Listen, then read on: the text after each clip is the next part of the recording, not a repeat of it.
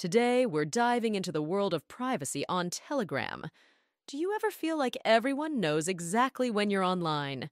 Maybe you want a little more control over who sees your last seen and online status.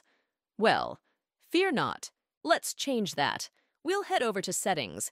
Here on iPhone, it's the gear icon in the bottom right corner.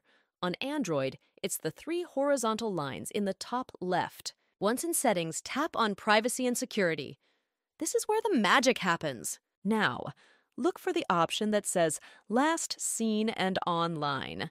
Here's where you can choose who sees your online status everybody.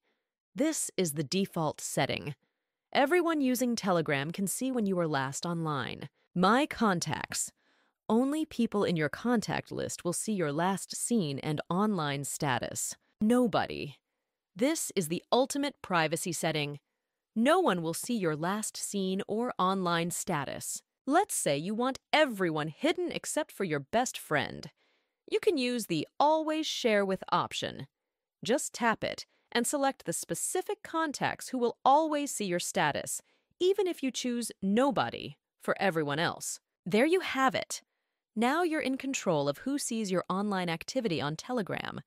Remember, privacy is important, and Telegram gives you the tools to manage it effectively.